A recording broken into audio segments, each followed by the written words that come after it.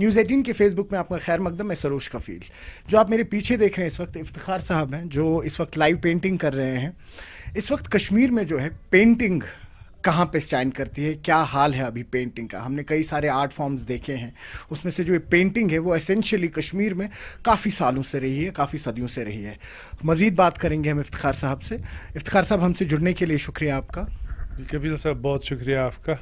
News eighteen का भी बहुत बहुत शुक्रिया। इफ्तार साहब ये बताइए कि हाल ही में हमने देखा था कि पिछले एक डेढ़ साल पहले की बात है जो एलजी एडमिनिस्ट्रेशन थी उन्होंने यहाँ पे ओल्ड सेक्रेट जो है वहाँ पे इन्होंने एक आर्ट गैलरी का प्रॉमिस किया था आर्टिस्ट को। कहा था कि जितने भी आर्ट लवर्स हैं they can come there they can display their art और हमारी लाइव पेंटिंग्स वहाँ पे रहेंगी।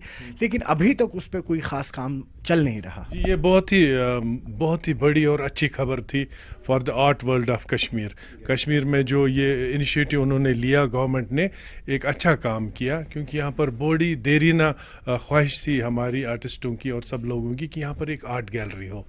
तो वो कभी नहीं थी यहाँ तो अब वो आ चुकी है और उन्होंने जो पुराना शेरगढ़ी कम्प्लेक्स, उसको जो आता है, इस इस आर्काइव्स डिपार्टमेंट के तहत तो कल्चरल एकेडमी इन्होंने ये एक उसको डेडिकेट किया और और हेरिटेज बिल्डिंग उसको आर्ट गैलरी बनाया।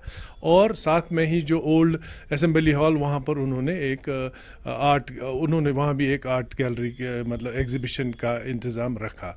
तो ये बहुत ही बड़ा कदम था। लेकिन उसमें ये हमारा फीडबैक और ये ये है उसको इम्प्रूव करने के लिए, क्योंकि जो आर्ट गैलरी उन्होंने बनाई है, उसको वो उन खतूत पर नहीं है, जो कि, वो तो एक बिल्डिंग है, उसमें आर्टिफैक्ट्स बड़ी कीमती कीमती पेंटिंग्स रखी हैं आर्टिस्ट की, कश्मीर की एम एफ़ हुसैन की और सब। क्योंकि वो वहाँ पर मुझे लगता है वेदरिंग हो सकती है।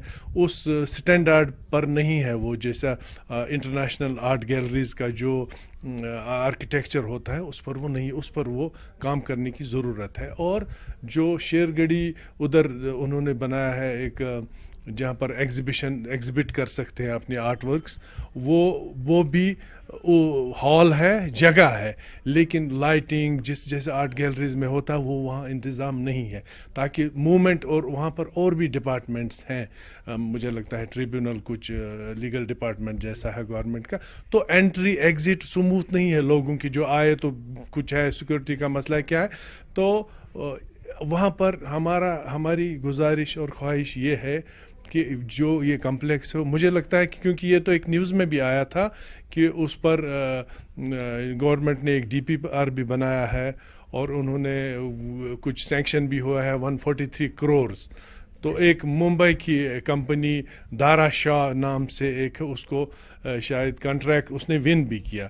लेकिन बाद में उस पर ये कुछ ऑफिशियल एफ़ की वजह से लिंगर ऑन हो रहा है। मुझे नहीं लगता किस वजूहत की वजह से तो अरबाब इख्तियार जो है उस पर ज़्यादा रोशनी डाल सकते हैं। लेकिन अगर ये काम हो वो उन खतूत पर बने इंटरनेशनल जैसे बम्बई में है, दिल्ली में है और बाहर में तो ये बड़ा ही अच्छा होगा कश्मीर के टूरिज़म के लिए और कश्मीर की ब्रांड इक्विटी को एनहेंस और ऊपर लाने के लिए अगर ये आर्ट गैलरी हो, ताकि लोग आए। और मुझे लगता है कल्चरल एकेडमी के पास बहुत बड़ा असासा है इन्वेंट्री है अच्छी बेशकीमती पेंटिंग्स की।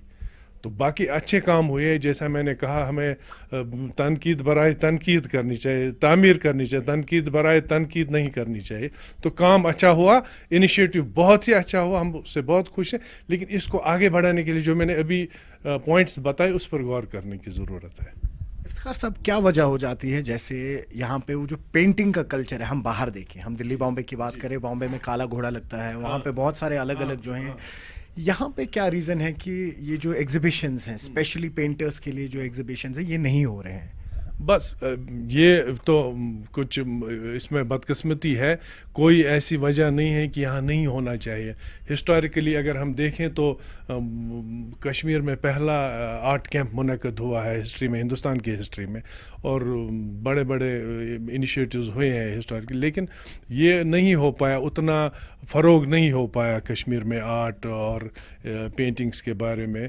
तो इसमें हर एक चीज़ में एक तो पब्लिक का भी इसमें रोल है, लेकिन गवर्नमेंट का बड़ा हाथ होता है।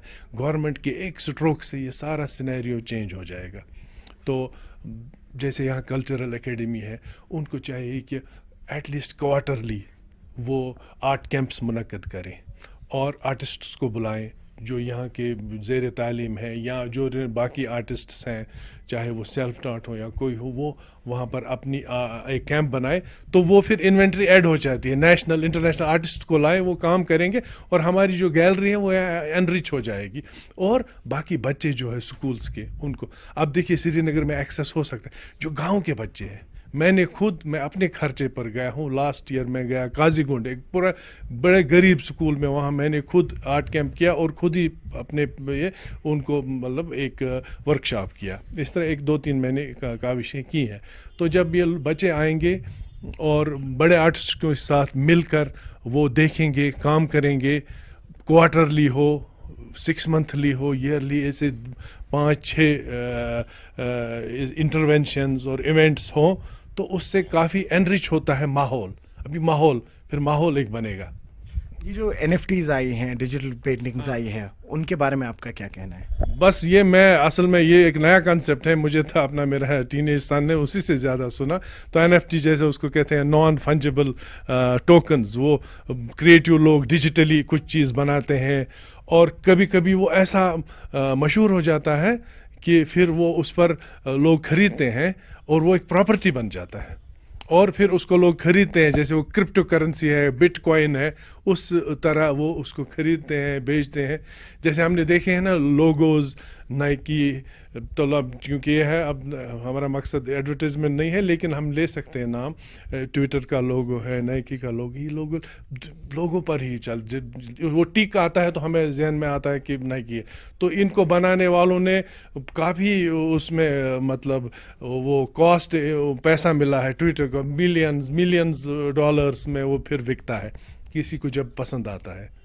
आपको लगता है एक आखिरी सवाल है कि आपको लगता है कुछ अगर एक यहाँ पे एक फोरम बने आप माने एक प्रोग्रेसिव पेंटर्स की हाँ. और कहीं ना कहीं ये ग्रुप बने तो जो ये आने वाली जनरेशन है वो उनको टीच कर पाए अलग अलग तरीकों में कहीं पे फ्री कैंप हो गया कहीं पे किसी के साथ आपने एमालगमेशन कर लिया टाइप कर लिया तो आपको लगता है वो इम्पोर्टेंट है फॉर्म ये तो एक हेल्दी सोसाइटी एक वाइब्रेंट समाज की तो ये रिक्वायरमेंट्स हैं।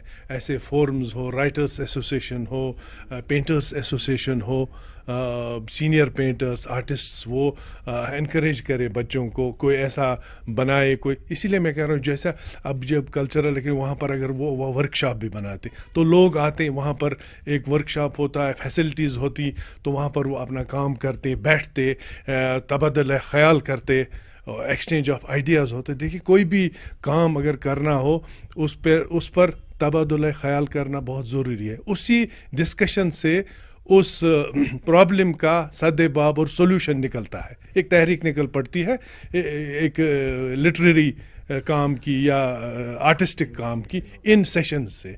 ये एक होता है ना, वो ब्रेन स्टार्मिंग सेशंस जैसे कहते हैं। इन सेशनों में ऐसे काम होते हैं स्टूडेंट्स हो टीचर्स हो इंटेलेक्चुअल्स आपस में वो डिस्कस करके उसका सोल्यूशन भी निकलता। तो ऐसे फॉर्म्स बनेंगे, ये इससे होगा। गवर्नमेंट का इसमें काफ़ी रोल होता हाँ। तो अभी बस आपकी कुछ पेंटिंग्स देखेंगे यहाँ पे हमारे जो देखने वाले तो हैं। जी प्लीज़ थोड़ा सा एक्सप्लेन करेंगे आप। आपकी हमने पेंटिंग्स में मोस्टली देखा है कि शहर खास है। शहर खास की जो है झलकियाँ हैं। आपकी हर एक पेंटिंग में इसकी कोई खास वजह है? खास नहीं ये तो मैं देखिए मैं बचपन में मेरे वालिद साहब मुझे ले जाते थे शहर खास तो मैं उन दिनों बच्चा सा था तो उसमें ज़्यादा इंटरेस्ट नहीं लेता बाद में उनकी वफ़ात के बाद तो मैंने वही चीज़ें बनानी शुरू की क्योंकि ये बड़ा ही ये रोमांटिक आर्किटेक्चर है मुझे बड़ा फैसिनेट करता है। जैसे ये जामा मस्जिद नौहटा का ये मंज़र है इसमें फिर हमारा इसमें फिर हम बाहर वाला अगर देखे तो मतलब वो खुश हो जाता है। हमारा कल्चर हेरिटेज चीज़ें हैं हर चीज़ खान का मौला है इधर पुराने मकान है ये मंजर है तो ये इसको मैंने बनाने की कोशिश की है ऑयल पेंटिंग में।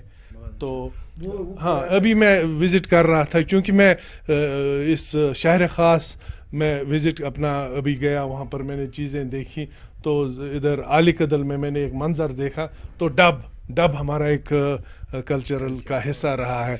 ये बड़ा ही इम्पोर्टेंट चीज़ होती थी डब वुडन यहाँ पर बैठते वेरेंडा जैसा बालकनी भी कह सकते हैं हम डब कहते हैं कश्मीरी में। वहाँ पर कुछ लोग सर्दियों में धूप सेकते थे और लेडीज़ बैठती थी और निटिंग करती थी तो बातें करती थी यानी एंजॉय सपोर्ट होता था। एक अहम अहम चीज़ था होता था घर का। तो अभी किसी प्रोजेक्ट पे आप काम कर रहे हैं? बस ये जो है ना, जो ये सीरीज़ है शहर ख़ास और हमारे जो बाकी टाउन्स में भी ऐसी ऐसी इमारतें हैं हेरिटेज बिल्डिंग्स इस पर मैं सोपोर में विज़िट करके आया। अब मैं साउथ कश्मीर भी जाऊँगा। वहाँ पर मतलब जो रिलीजस प्लेसेस भी हैं, क्योंकि वो, उनमें आर्किटेक्चर होता है तो कोई भी हो तो हम उसमें देख के उस पर हम काम करेंगे। और पुरानी जो इमारतें हैं और गलियाँ हैं वो उनको